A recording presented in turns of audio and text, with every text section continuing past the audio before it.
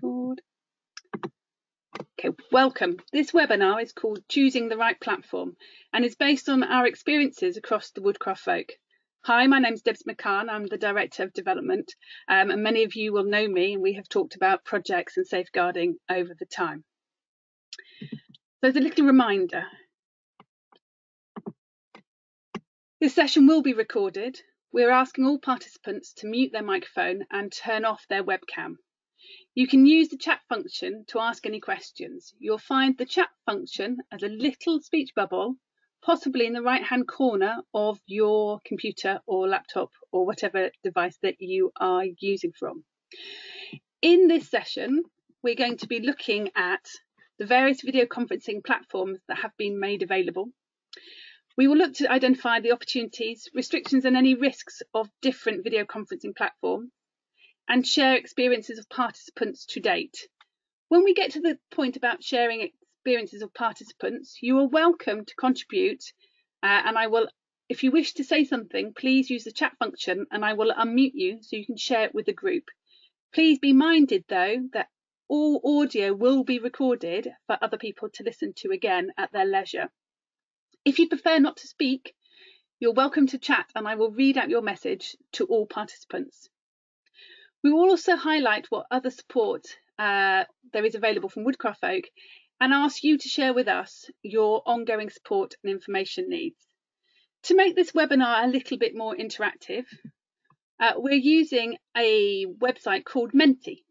And I'd really like you to use your device at the moment and visit www.menti.com. When you visit this website, it will ask you for an access code and you will be asked to answer three questions, which I will open in a minute.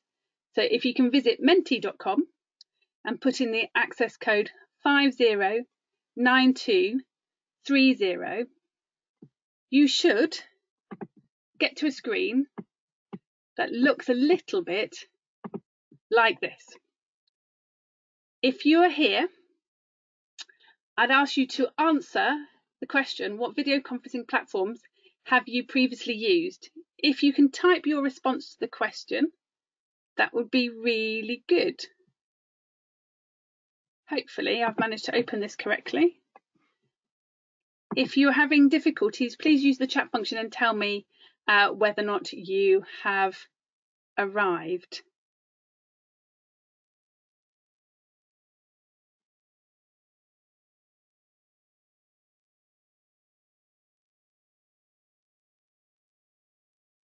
We've had one person respond to say that they have used GoToMeeting, which is the platform we're currently using, Microsoft Teams and Zoom.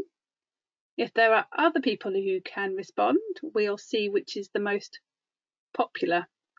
I'm aware amongst our woodcraft, see there are people are responding and things are moving around. Uh, I'm aware in our woodcraft folk groups that Zoom has been very popular, that people have also been using Google Hangouts, um, and people have been using WhatsApp and of course Woodcraft Folk have used GoToMeeting for a while. I'll leave that question there, um, but I'm also going to try and move to a second question. Uh, if you don't keep up with me, by all means do the questions at your leisure. Um, but here, unsurprisingly, GoToMeeting as the biggest response is the one that's being used the most. And as we're on GoToMeeting, that's not a surprise. Uh, the second question I have for you is what are you hoping to use video conferencing for? You'll have a list of options. I think there are nine options and you have five choices. So tick the five that you think are the things that you would like to achieve through video conferencing with your group. It may be that you're looking to do social action. It may be that you're just looking to support the group members, having a catch up in this time when we're all social distancing, or maybe even planning things for the future, that next camp where we can get together around the campfire. You may wish to review events and activities or make some craft. We have a craft session planned for tomorrow night.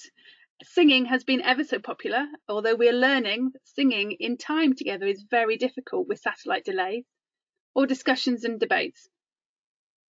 I can see that some people have responded. Um, and I think that social interaction and just supporting each other are our priorities. Yesterday, some of you may have heard all about the Finns and their saunas as Paulina shared her cultural background. Okay, I have another question for you. What support do you need to deliver virtual programme activities? So there's a response here saying that reassurance, I'm doing it okay. Good answer. Uh, I can help to do that.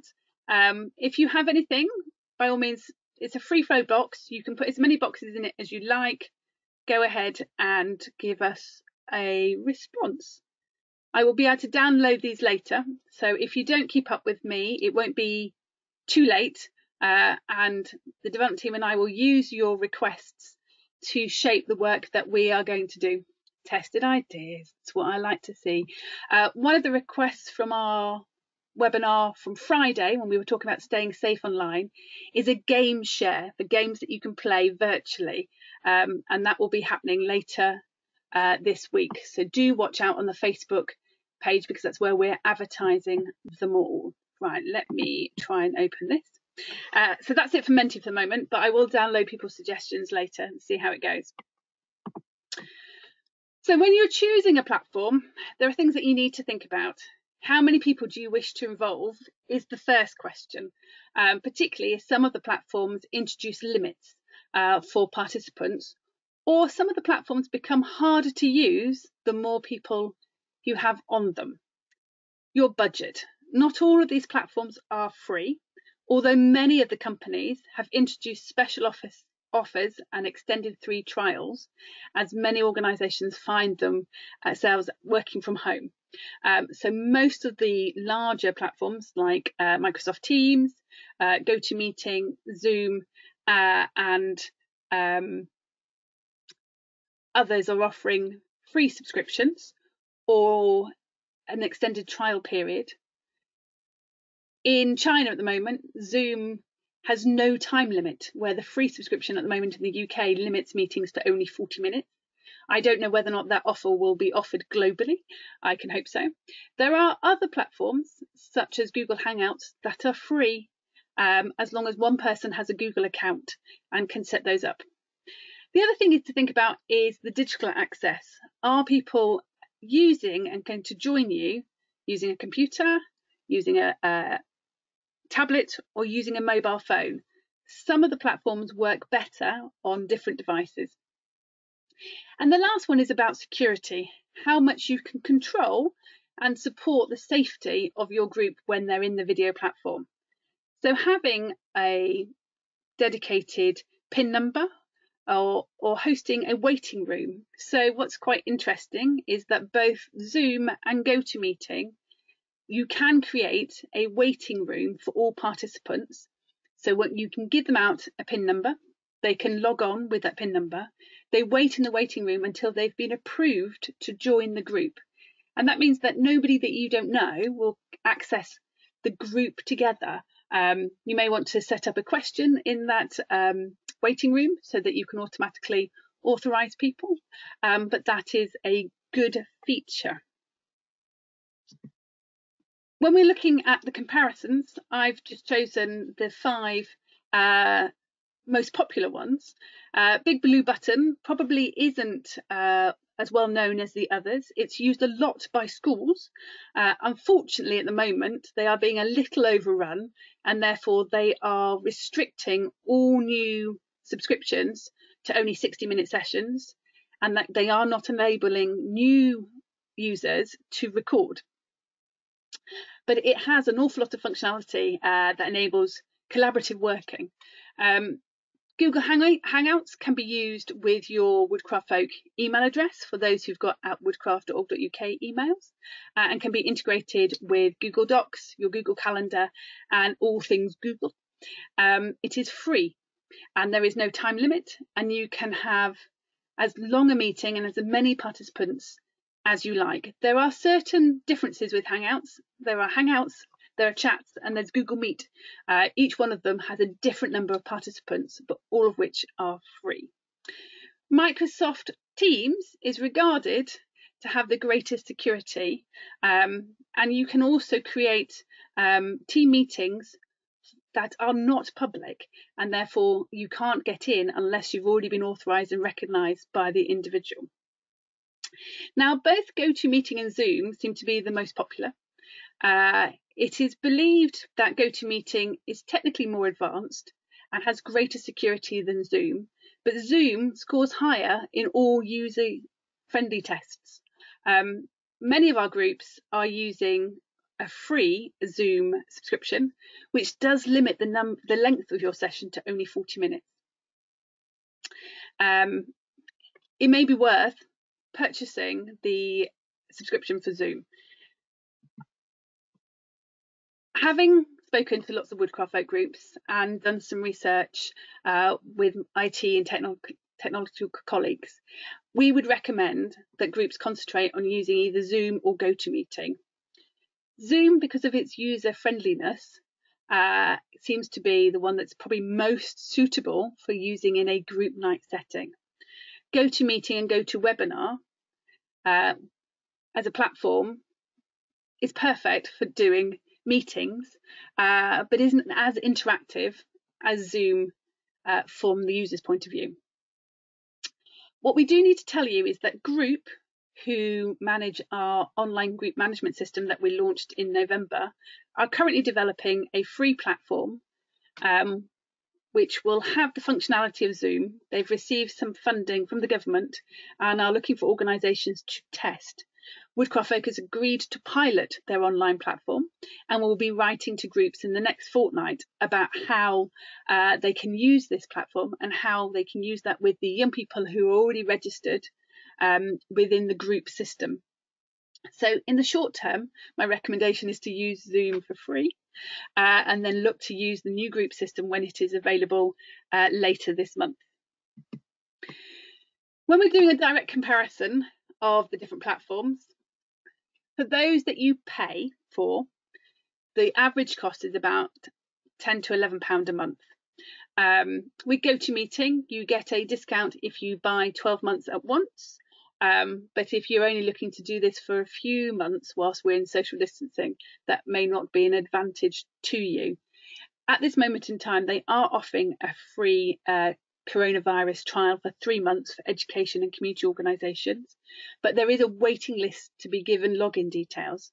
You can set up immediately a 14 day trial uh, uh, by visiting their website. One of the benefits of GoToMeeting is that it is mobile friendly. Uh, you can download, download an app and you can also choose how you dial in, including with people some, sometimes choosing to dial in on a telephone. Some opportunities that it shares with Zoom is that participants can control their environment. We think this is a really important feature for privacy. So individuals can choose whether or not they have their webcams on and whether or not they put their microphones on. As organisers, you can also choose, so you can block webcams and you can mute microphones. GoToMeeting also enables participants to join without having to share their personal details, unlike WhatsApp or Skype. Uh, the basic subscription for GoToMeeting enables 150 participants, which is plenty for a group night activity. Like Zoom, there are recording functions, uh, there's a chat function, and at the end of the meeting, the chat function is automatically downloaded to the organizer as a record of the meeting. We can do screen sharing through GoToMeeting like I am now, and your subscription enables you to have an unlimited number of meetings, although you can only have one meeting per subscription. There is also no length, no limit on the length of meetings. Uh, GoToWebinar provides you with a whiteboard and breakout rooms uh, for those who want to be a little bit more interactive. With Zoom, as you can see, the cost for the subscription is very similar to the cost of GoToMeeting's paid for subscription as I said earlier, in uh, sector tests, it scores much higher uh, than the other platforms for its user friendliness, its ability to put your hand up, to use the Q&A as well as the chat functions. Um, it can have up to a thousand participants if you use the paid for subscription, or a hundred if you use the free subscription. Uh, I also have now learnt that you can have timed breakout rooms. So if you want uh, to do some small group or clan based work, you can put a group of people into a breakout room. You can have up to 100 breakout rooms if you have the paid for uh, subscription. And these timed breakout rooms will automatically rejoin and give uh, participants a, a 10 second warning that you are rejoining. You don't need to download any software to be a participant. And it also has a really good whiteboard uh, and collective collaborative drawing function, uh, which is better than the one on GoToMeeting. Most of our members have been using the free subscription, so its major restriction is that it only runs for 40 minutes. Uh, you can, however, restart a Zoom meeting immediately after one has finished. Although for most groups, I think 40 minutes for those who are new to online meetings is probably enough and is probably a good target to aim for. When comparing like for like, Zoom has fewer security features than other uh, video conferencing. However, you can, as I said earlier, uh, there is a personal pin for each meeting. You can put people in a waiting room and approve them before they join. The meeting platform is encrypted like the others, but, but apparently at a, lower level uh, and a technical way that is beyond my uh, understanding. When you compare the functionality, you can see uh, that they are very, very similar. So screen sharing, whiteboards, messengers, breakout rooms, waiting rooms, etc., etc. Um, when you're looking at people, particularly in a group setting, if your motivation for joining is about catching up and peer and group support. On GoToMeeting, you can only see 25 webcams at any one time. On Zoom, you can see up to 49, which must be really tiny on most people's computer screens. Um, but it does mean that everybody can at least see each other. Um, it will obviously need to be moderated to make sure people aren't sharing anything that they shouldn't be sharing. Um, but I think, uh, based on the feedback we've had from our groups, Zoom would seem to be a better fit with what our groups are trying to deliver uh, during their virtual sessions. I wonder an opportunity for people to share their experience. Is there anybody on the chat who would like to share what they've been doing? I know through our social media in the last fortnight, various groups and districts have been sharing their experience. So this morning, I'm aware that Waltham Abbey shared their experience of a Zoom meeting uh, for their woodchips and elfins, where they did a scavenger hunt and some storytelling. Um, and they their recommendation on week two is that it is good to start the meeting with a shared screen explaining things like uh, the structure for the meeting as well as the rules for the meeting uh, so people know what to expect. Now, is there anybody on the chat who would like to share their experiences? If not, I will move on. Uh, if there is anybody who decides that they would like to share something, by all means, stick it in the chat and I'll either unmute you so you can share it with the rest of the group, or if you'd prefer not to, say you prefer not to speak and I will read out your experience to the group who are here. Okay, there's a comment here from Adam saying no group experience but professional experience. Do you want to share that professional experience, Adam? Let's see. He says can do. Okay, I'm just going to mute you, Adam. Uh, I think I've unmuted you. Hey, Adam. Yeah, we should be able to hear you. Yeah, I've used GoToMeeting a lot with uh, I realise I can hear you, but actually my volume is turned down. Let me just turn my volume up. No, my microphone was in the wrong place. Ah. Hello, Adam. How are you? Yeah. What, I'm good. What's your experience? Uh, yeah. You're saying it in a professional capacity rather than group night. Well, I've, we've we've used it for small telecons with Gwerin y Coed and the Welsh region, uh, and that it's been working really well for that. And that's uh, GoToMeeting you used? That is GoToMeeting. So I agree with essentially I'm backing up what you have said about GoToMeeting and, and Zoom. Uh, GoToMeeting is very professional, it's very business-like, but Zoom is easy to use. Yes. Uh, so that appears to be our experience for the rest of the membership. That uh, GoToMeeting is great for broadcasting and recording and sharing screens and, and documents. Um, but some of the features of Zoom are a little bit more interactive for the whole of the audience and therefore suit the collaborative nature of a group night as opposed to a meeting that usually has a chair and has an agenda and is a little bit more structured. Yeah, I, that's exactly what I've found. Uh, so I've used Zoom a little bit socially, and yeah, it's much better for that. Cool. I've also used Teams a lot in my work, uh, and uh, so Teams is a bit more bewildering for me. There's, there's a much greater range of functionality, but the one thing I'm impressed with in Teams, and you might be able to do in Zoom, is um, um, uh, oh, what's it called? Um, uh, uh, captured subtitles, captured subtitling where it, it records what people are actually saying and, and Teams does that almost word for word. I'm I'm really impressed. But, but both both GoToMeeting and Zoom uh, do a transcribing service uh, that also enables you then to search that transcription afterwards. Is that what you? Yeah, but you can see that actually happening in real time on Ooh. on Teams. That, uh, I think you might be able to. Yeah, yeah. Um, I've not in. I've not investigated it though, but I might do. Cool. Uh, team. My my experience of Teams is that it probably is very technically the best, uh, but it doesn't seem as user intuitive as Zoom, and therefore it's got lots of functionality that none of us know how to use. Um, yeah. And, and particularly for working with young people who don't use these in their day jobs, um, something that just is easy to use is probably the one to to recommend. So at the moment, based on our collective yeah. learning in the last fortnight of running virtual program, Zoom is coming out on top. Um, as I said earlier in the presentation, Group are working on their own version of Zoom, uh, which will be managed through the platform. Um, it will be possible to use that platform uh, to send messages across the group 24 7. Uh, and, and have an open chat with that group, as well as come together to do video conferencing um, work. So it'll be interesting to see that. In theory, should take two weeks before it's ready for groups to use.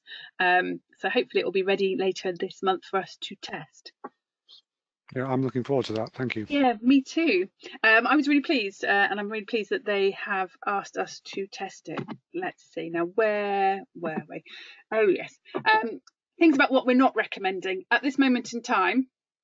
We are we are recommending that groups avoid any platform that it requires people to share their personal contact details. Uh, we want to make sure that we respect the privacy of our group members and we don't want to open up opportunities for cyberbullying or unsafe behaviour amongst our young members. So platforms such as WhatsApp, Facebook Messenger and Skype we are not recommending. However, uh, I think that we have to be realistic and particularly with our older members, having a conversation about what platforms they are already using. So if they are already using WhatsApp, uh, being involved in a group activity with Woodcraft Folk through WhatsApp isn't increasing their risk. Um, although I would recommend that we try to focus on Zoom and GoToMeeting uh, and try to make sure that young people remember the online safety tips that they've been given throughout their education of making sure that they're not sharing information and that they're behaving uh, in a safe way whilst they're online. Uh, particularly at this moment in time where I'm sure more young people are spending even more time online than they were before. Um, in terms of sources of support from Woodcraft Folk, Last week, we did a Staying Safe webinar, which is now available on our website for people to view. We've updated our social networking guidance. This is a document that has been updated many times over the last uh, eight years as social networking and social media and online tools have changed and evolved. In that social networking guidance, you will find uh, advice about getting consent, you will find advice about creating a group agreement and you will find top tips about how to use email, social media, video conferencing uh, with children and young people. We've also produced a virtual program risk assessment, which is available on our website. Um, there it's a standard risk assessment of the things that you need to consider when you are doing virtual program rather than physical program. Um, much of it, hopefully, will be common sense. Uh, you may wish to add to that risk assessment if there is be particular behaviour within your group that would cause a concern. Um, but for most of us, the virtual program that we're offering is to children and young people that we already know and already have a relationship with and have a relationship with each other. Um, so hopefully the good relationships that they have in the physical room will now be transferred into the virtual room. Oh, a little back to Mentimeter. What am I going to ask you here? Oh, I think I'm not going. I think I've already asked you that question, which is what support uh, you want from Woodcraft Folk. If you haven't finished answering the questions on Mentimeter, please do so because we will use those as our work plan going forward. And if there's any questions um, from anybody in the chat, please use your chat function if you have any questions for me. Um, but I think as I said, the collective learning of the movement in the last fortnight is that Zoom is the one that is meeting our needs best. If you would like to use Woodcraft Folks GoToMeeting subscription, please email debs at woodcraft.org.uk and I will give you details of how to use that. As I said earlier, they do offer a free trial and they are offering a three month free trial for education and community organisations. So if you wish to set up your own for your district, uh, you can do so. And I'm aware that Lewisham and Greenwich have already done so. Um, but if that's it, then I will say good night and thank you. Um, thank you, everybody.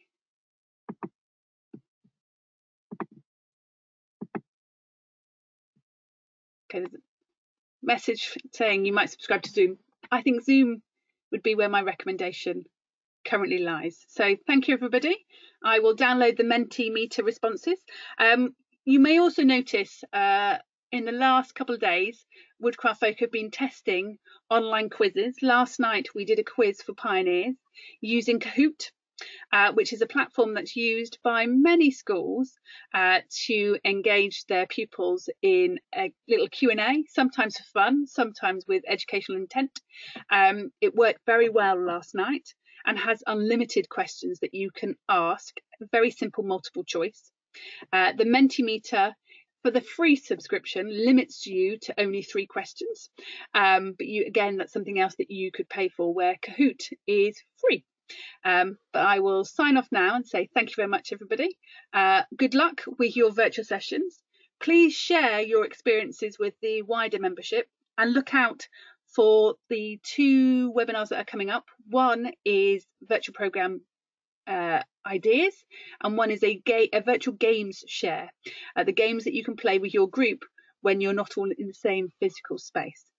So good night, thank you, and I will see you all soon.